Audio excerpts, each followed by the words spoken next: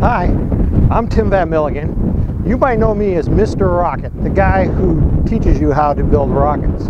Well, today I'm in Las Vegas, Nevada. Um, it's uh, middle of March. Uh, March Madness has just started, and I'm here at the casinos. And you're probably wondering, what the heck is Mr. Rocket doing at the casinos? Well, actually, I'm not here for the gambling. In fact, I don't really like Las Vegas all that much. It's a nice city, but I'd rather be uh, back home in Colorado Springs or like last week when I was in uh, Seattle, Washington for NARCon. But I'm here for basically the same reason. Last week at NARCon, I was learning about how to make rockets better from the best people, a lot of you that are probably watching this right now. But today, um, I'm learning about sales. I have to learn sales too because my business depends on it. Um, and in here in Las Vegas, here's where the sales conventions actually happen. I really don't like Las Vegas, as I said, because it's not a place where there's a lot of values and, well, I, I mean values in the perspective of buying things and getting, getting good value for it. Everything here is a little bit overpriced. Uh, the rooms are nice, uh, but again, I'm here to learn about sales and, and persuasion techniques not that I want to persuade you, although I do want you to buy, I do want you to buy. Yeah, that's a little bit of uh, subliminal there. One of the things that I'm learning about in this uh, event is subliminal persuasion.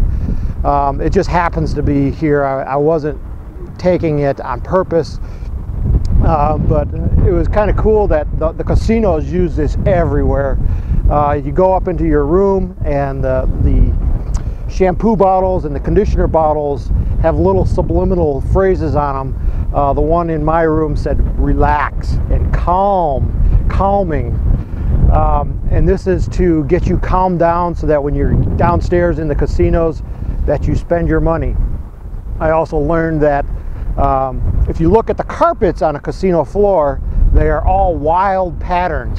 And the purpose of this is to distract you, make your, to overload your brain with so much stuff that you want to focus on something that is calming, uh, like the slot machines, because now you have all this carpet on the floor and it's very distracting, but the, the slot machines are very calming, they're very uniform shape.